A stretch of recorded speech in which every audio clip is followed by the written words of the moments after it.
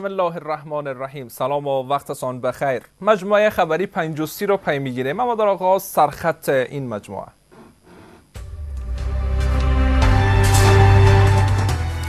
پیشنهاد صلاح الدین ربانی به سران پیشین جهادی. برای همکاری با نیروهای امنیتی در حالات استرار شوراهای مجاهدین باید شکل بگیرد. تاکید سران پیشین جهادی بر حمایت از نظام کنونی. آنان طی نشست در ولایت پروان می‌گویند که در کنار نیروهای امنیتی برای مقابله با مخالفان مسلح دولت آماده هر نوع فداکاری هستند. و نخستین حمله جنگنده های روسی علیه مواضع گروه داعش در سوریه. امروز پنجشنبه نهم میزان سال 1394 خورشیدی است که برابر می شود با اول اکتبر سال 2015 میلادی. مجموعه خبری پنجوستی با من محمد سجاد یاسا.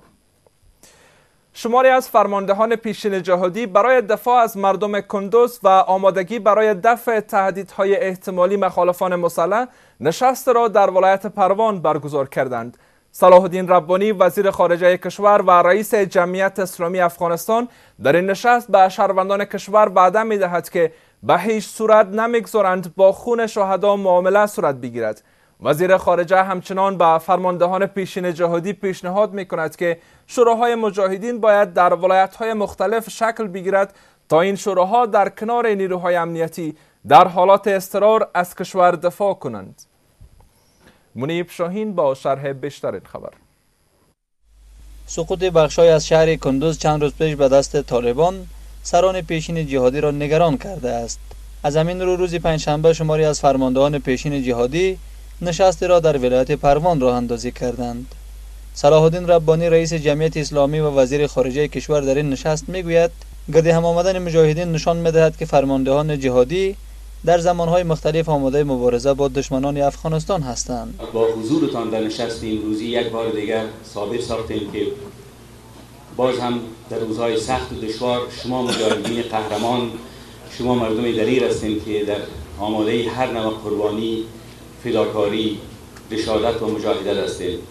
که هدف ما همیست که باید یک بار دیگر با آرمان شهدا تجدید پیمان کنیم و به هر قیمت نگذاریم. نیروهای وحشت و دهشت و ترور بر افغانستان یا منطقه حاکم شوند وزیر خارجه کشور به شهروندان کشور وعده می دهد که به هیچ صورت اجازه نمی دهد که با خون و آرمان شهدا معامله صورت بگیرد. به هیچ قیمت معامله نمی کنیم و با خون شهدا متحد هستیم با آرمان و آرزوهای اونا تا آخرین قطره خون مقاومت می کنیم امروز وضعیت سخته که بالای مردم کندوز آمده بسیار به همه ما بسیار سخت است. و همه ما در درد مردم کندوز در مشکلاتشان خود شریک می‌دانیم. وزیر خارجه همچنان به فرماندهان پیشین جهادی پیشنهاد می‌کند که شوراهای مجاهدین باید در ولایت های مختلف شکل بگیرد تا این شوراها در کنار نیروهای امنیتی در حالات استرار از مردم و خاک دفاع کنند. من پیشنهاد می‌کنم و جمع بزرگایی که امروز در نشست پرشکوه محفل پرشکوه ما حضور دارند تا به نتیجه برسیم و شوراهای به وجود بیاریم که در حالتهای استراری در حالتهای دشوار بتانند مردم بسیج کنند و در حمایت با در حمایت از نیروهای ملیمان در حمایت از نیروهای امنیتی و دفاعی کشور قرار بگیرند. رئیس جمعیت اسلامی افغانستان پیروزی مجاهدین را در اتفاق آنان می‌داند و تاکید می‌کند که سران پیشین جهادی می توانند برای نجات کشور کاری اساسی انجام دهند. در همین حال در نشست امروز شماری از سران پیشین جهادی در ولایت پروان تاکید کردند که از نظام کنونی و نیروهای امنیتی حمایت می کنند و نمی‌گذارند کشور به سوی بحران برده شود. آنان می‌گویند که در کنار نیروهای امنیتی برای مقابله با مخالفان مسلح دولت آماده هر نوع فداکاری هستند. این سران پیشین جهادی پاکستان را به مداخلت در افغانستان متهم می کنند و هشدار می دهند که اگر این کشور دست از مداخله بر ندارد با واکنش های جدی روبرو خواهد شد. شرح بیشتر از امرولا احمدی. ناامنی های اخیر در شمال کشور با ویژه کندوز نگرانی شماری از سران پیشین جهادی را برانگیخته است. روز پنجشنبه پروان میزبان این سران پیشین جهادی بود.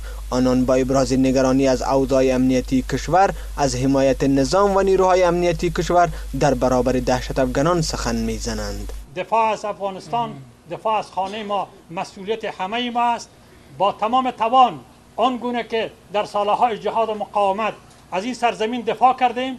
حکنون هم آماده هستیم که دفاع بکنیم. این سران پیشین جهادی پاکستان را با مداخلت در امور افغانستان متهم می کنند و هشدار می دهند که اگر این کشور دست از مداخله بر ندارد با واکنش های جدی روبرو خواهد شد. رای گله و گذار نیست. امروز وقتی که خطر بالفعل و بالقوه مردم ما را سرزمین ما را تهدید می‌کنه ما ایجاب می‌کنه که همه اختلافات خود کنار بگذاریم.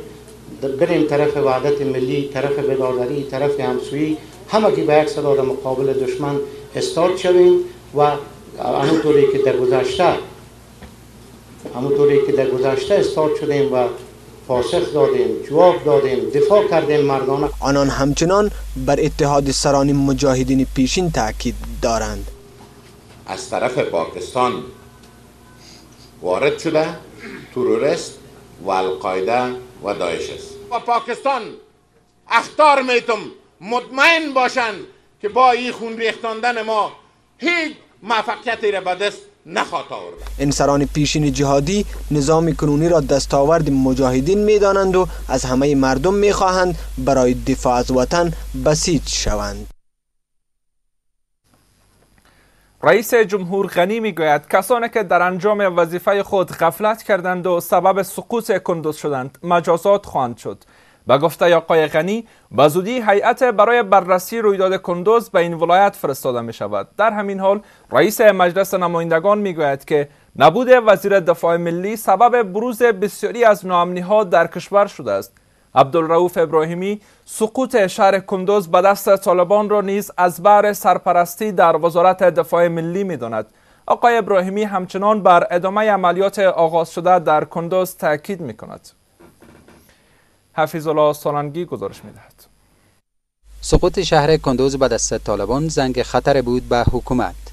رئیس جمهور غنی صبح روز پنجشنبه از طریق ویدیو کنفرانس با رهبری نظامی ولایت کندوز صحبت کرده و گفته است کسانی که در انجام وظیفه خود غفلت کردند و سبب سقوط کندوز شدند مجازات خواهند شد. با گفته آقای غنی به زودی هیئت برای بررسی رویداد کندوز به این ولایت فرستاده می شود دفتر رسانه های ریاست جمهوری با نشر خبرنامه به نقل از جنرال مراد علی مراد معاون رئیس ستاد ارتش گفته است که وضعیت امنیتی شهر کندوز به حالت هادی برگشته است. و نیروهای امنیتی و دفاعی به افراد غیر مسئول اجازه دخول به شهر را نمی‌دهند. آقای مراد به رئیس جمهور غنی اطمینان داده است که در جریان عملیات تصفیوی در کندوز به غیر نظامیان آسیب نرسیده است و به زودی داره های محلی در شهر کندوز فعال خواهند شد. در امینال رئیس مجلس نمایندگان می‌گوید که نبود وزیر دفاع ملی سبب بروز بسیاری از نامنی ها در کشور شده است. عبدالرؤوف ابراهیمی سقوط شهر کندوز به دست طالبان را نیز از بحر سرپرستی در وزارت دفاع ملی می‌داند. و یک بار دیگه تاکید می‌کنیم که نبود وزیر دفاع وزیر جنگ در رأس قوای مسلح افغانستان یکی از عوامل اساسی ضعف مدیریت و فرار از مسئولیت در میدان معرکه و جنگ ای محسوس است. ما بازم از رئیس جمهور خواهش می‌کنیم که عاجل شخصی که ظرفیت ایره داره و در رأس قوای مسلح افغانستان به صفت وزیر دفاع مشخص شود. رئیس جمهور غنی با تاکید بر دوام عملیات نظامی به مسئولان نیروهای امنیتی و رهبری نظامی شهر کندوز گفته است که باید ولسوالی های کندوز و تمام زون شمال شرق از وجود دشمن پاکسازی شود. رئیس مجلس نمایندگان نیز بر ادامه یافتن عملیات آغاز شده در کندوز تاکید می کند و می‌گوید که مردم شهر کندوز در حالت سخت به سر می‌برند و باید حکومت به نیازمندی های آنان توجهی جدی کند. یک بار دیگر تقاضا می‌کنم با پیگیری این عملیاتی که برای همکنون روی دست هست نه تنها بس به آزادی قندوز و مراکز شهرهای ولسوالی ها اکتفا بکنه بلکه این عملیات از سرتاسری بسازه و در سطح ولایت قندوز و قریه و قصبات که بستر مردم برای دوام حاکمیت ملی یک اصل هست باید ما این بستر مردم از وجود تروریسم و طالبا و خودپروخته ها اینا را آزاد بسازیم. سقوط شهر کندوز بعد از سه طالبان انتقادهای نسبت به حکومت را افزایش داده است. بسیاری ها به این باورند تا زمانی که جاسوسان داخل نظام پاکسازی نشوند و نیز لانه های امن تروریستان در پاکستان از بین بردن نشود وضع کنونی تغییر چندانه نخواهد کرد. شماری از اعضای مجلس نمایندگان و فعالان مدنی امروز در کابل به سبب سقوط کندوز به دست طالبان راهپیمایی کردند. آنان کمکاری مقام های امنیتی و حضور جاسوسان داخل نظام را عامل اصلی سقوط کندوز می دانند. راهپیمایان تاکید دارند که این جاسوسان باید شناسایی و محاکمه شوند. شرح بیشتر از وسیق الله عظیمی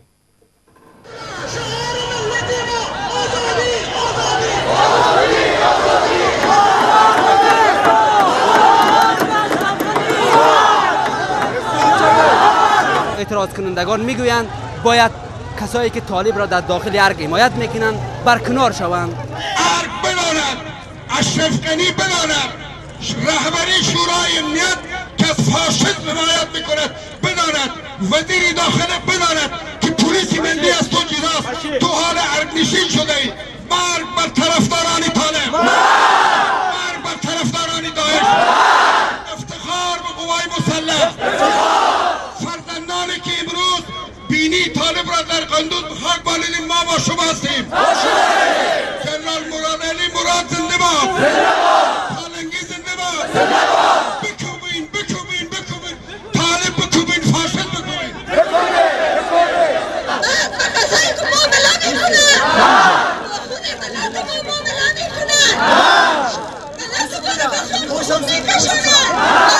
پس از تصفیه شهر کندوز به دست نیروهای امنیتی و دفاعی کشور شماری از شهروندان به جاده های پایتخت کشور برآمدند و خواستار برکناری اعضای ستون پنجمی ها از داخل نظام هستند. و ستون پنجم نه تنها در ولایت در داخل هر کجا ما بارها در پارلمان گفتیم. سه سال است میگیم که بدخشان کندوز شمال به خطر مواجه است. اما اینا کوچکترین اقدامی نکردن و حال آمدن کار را که می‌خواستن انجام دادن قدر کردن وارد کردن بسیاری دولت بردن خدا اکمال کردن. حالا کندوزن که تربیه چی؟ اون پنجم وجود داره. عناصرش مردم می‌شناسند این وظیفه حکومت وحدت ملی است که اگر واقعا می‌خواهند که افغانستان آرام شود ستون پنجم شناسایی کردن می‌شناسند مزمحل بذارند اما ما به یک عقید هستم که ستون پنجم در حقیقت در قضایای افغانستان بسیار دخیل است و همه را تحت خود قرار داده که در عقب از پاکستان قرار در اعتراض به جنایات طالب و حمایت نشینان طالب. در حد نشستن و از طالبا حمایت می‌کنند ما پیام ما از طریق تلویزیون شما امی از برای جناب اشرف غنی احمدزی که خودش یک رئیس جمهور غیر قانونی است. مالای ما دیسان شده. سر ما سیاست طالبانی خود تحمیل نمی‌تونه ما افغان هستیم ما مجاهد هستیم ما خون خود را خواندیم.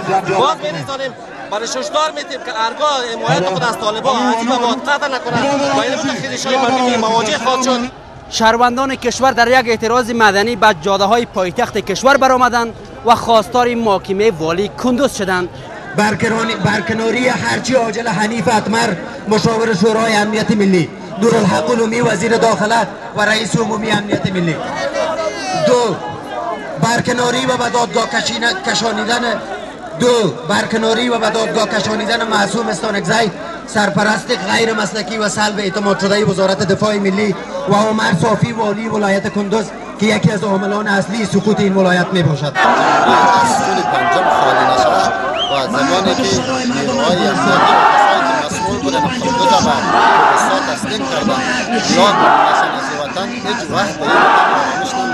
همیشه ما نیروهای دولتی خود می‌خواهیم که یک صلح آرامی را در وطن ما ایجاد کنند. بس هستم دیگه خسته شدیم. من خدا این حالت رسیدیم باید دو شدیم دیگران را خوب کارم زندگی کنم این در حال است که شهر کندوز سه روز در تصرف گروه طالبان قرار داشت. سرانجام شب گذشته نیروهای امنیتی و دفاعی کشور توانستند که این شهر را از وجود مخالفان مسلح دولت پاکسازی کند. والی پیشین کندوز می‌گوید که سقوط مرکز این ولایت دسیسه از سوی استخبارات منطقه بوده است. محمد عمر صافی گفته است که حدود یک ماه پیش از احتمال سقوط کندوز به های حکومت مرکزی اطلاع داده بود. اما های مرکزی توجه جدی به این ولایت نداشتند و نیروهای امنیتی کافی نیز در کندوز وجود نداشت. هنگام سقوط شهر کندوز به دست طالبان آقای صافی در این ولایت حضور نداشت و به بیرون از کشور رفته بود. وی می‌گوید که با کسب اجازه از رئیس جمهور به بیرون از کشور سفر کرده بود. یک قطار اکمالاتی نیروهای ارتش در ولسوالی جلریز ولایت میدان وردک آماج ماین کنار جادهی قرار گرفته است. خلیل اندرابی فرمانده پلیس ولایت میدان وردک می‌گوید که قرار بود این قطار اکمالاتی به ولسوالی دایمرداد این ولایت فرستاده شود. اما در منطقه زیولات ولسوالی جلریز با ماین کنار جادهی برخورد کرد که چند اراده وسایت ارتش حریق شده است. آقای اندرابی می افزاید که افراد وابسته به گروه طالبان در قسمت های از شارای میدان شهربامیان ماین های ریموت کنترل گذاشتند و نیروهای امنیتی در حال خونساسازی این ماین ها این در حالی است که ادعا می شود. شماری از نیروهای امنیتی در ولسوالی دایمرداد در محاصره افراد وابسته به گروه طالبان قرار دارند. اما فرمانده پلیس ولایت میدان وردک با رد این ادعا می‌گوید که درگیری های پراکنده در این ولسوالی صورت گرفته است و مخالفان مسلح دولت توان محاصره نیروهای امنیتی را در این ولسوالی ندارند. این ریموت کنترل زیاد جابجایی کردن. دیگه فقط موترهای دولتی که رفت آمد بکنن متاسفانه که باز اونجا قضیه دیروز واری میشه و به او اساس تلاش داریم که امی مینا خونساش ها باز قطار را روان بکنیم.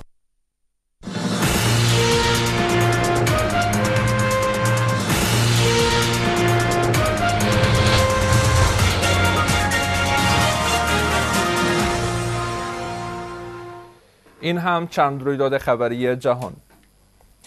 جنگنده های روسی در اولین عملیات نظامی خود در سوریه مناطق از حمص و حما را بمباران کرده است و گفته مقام های روس و سوری گروه های تروریستی فعال در این مناطق هدف این بمباران ها بودند اما فعالان حقوق بشر سوریه و مقام های ائتلاف مخالفان بشار اسد رئیس جمهوری سوریه از کشته شدن ده ها غیر نظامی در نتیجه این بمباران ها خبر دادند.